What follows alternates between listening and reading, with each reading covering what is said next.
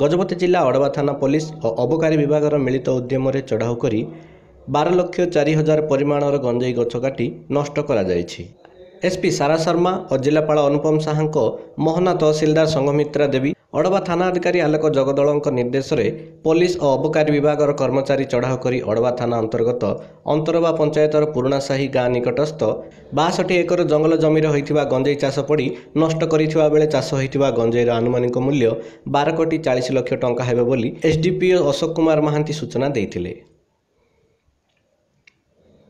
ଗଜପତି ଜିଲ୍ଲା ମୋହନାରୁ ପିଣ୍ଟୁ ପ୍ରଧାନଙ୍କ ରିପୋର୍ଟ ଉତ୍କଳ ଖବର।